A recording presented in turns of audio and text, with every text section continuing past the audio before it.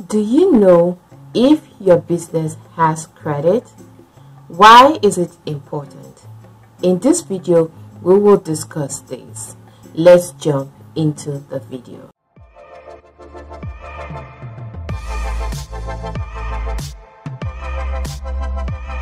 This is Business Media TV. My name is Mimi, the Business Advisor. On this channel, we advise business owners on how to start, grow, and sustain their businesses. If you're new to this channel, we would like to invite you to subscribe to our channel so you can get more information about business. Establishing and managing business credit can help your company secure financing when you need it and with better terms. Business credit can be crucial for negotiating supply agreements and protecting against business identity theft. The difference between personal and business credit is that your personal credit report can only be accessed with your permission. On the other end, anyone can pull your business credit report. Your business credit score is calculated by several factors such as your history of on-time payments, how much credit you use on a monthly basis, and any past collections or bankruptcies. Other factors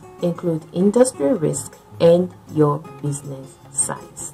I will now share 7 tips that can help lay the groundwork to sound financial Number one, separate your business and personal finances. It's best to start building your score as soon as possible so that you can have a track record in place should someone pull your file. A key step in the process is separating your business and your personal stuff. You can start by applying for a federal identification number from the IRS. We discussed EIN in our previous videos. Click on the link above for more information. Then use that number to open a business bank account, which we've discussed in our video on opening a business bank account in your legal business name after you register your business name. Please see our other videos on how to register your business via the links above. Number two,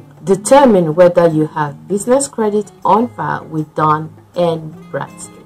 If you do not have one, first apply for a DUNS number. A DUNS number is a universal nine-digit identifier for your business and is used to establish a business credit file, often referenced by lenders and suppliers. A DUNS number ensures that anyone who pulls your file sees accurate, up-to-date information about your business. You can register for a free DUNS number through Dun and Bradstreet. Just Google Dun and Bradstreet and go to their website. Number three, establish a business credit by using business credit cards and lines of credit associated with it. To build your business credit profile, you need accounts and vendors that report your business to the credit bureaus. A business credit card and business lines of credit can be a good start. Business credit cards may also offer benefits and reward programs that are more helpful to business owners than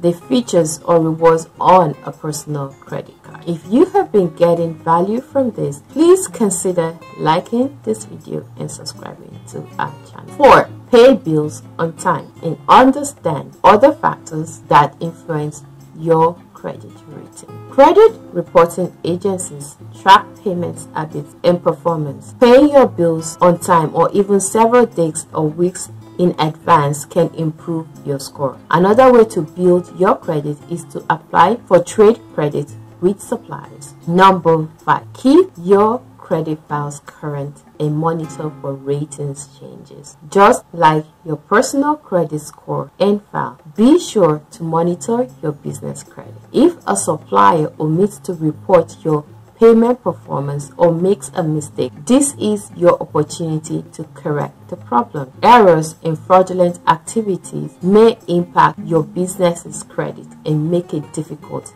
and more expensive to borrow Make a point of checking your business credit reports for errors a few times each year. If you find one, you can try to get it corrected by filing a dispute with the respective business credit bureau. Each of the top business credit agencies, Dun & Bradstreet, Experian, and Equifax offer a range of business credit monitoring and alerting services for as low as $20 per month. Number 6. Know your customers and vendors' credit standing. Knowing your customers' credit standing gives you a window into consumer patterns and that can affect your marketing and sales strategy. You may not need to conduct credit checks, but there are credit evaluation tools available for small businesses. Customer behavior also impacts your business's cash flow, which affects planning for future supplies, hiring employees,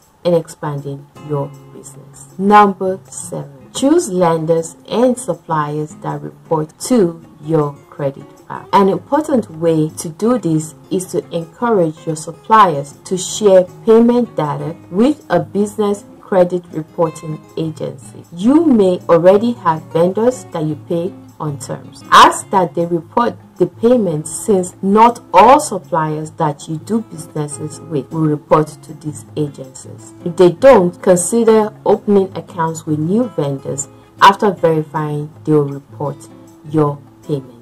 There are limitations as to which trade references you can add. For example, utilities, landlords, and several other references are excluded. Question of the day. What stood out to you as far as the tips to build your business credit? Please let us know in the comment section. Also, share your experience with others so we can all learn together. Thank you for watching and we'll see you in our next video.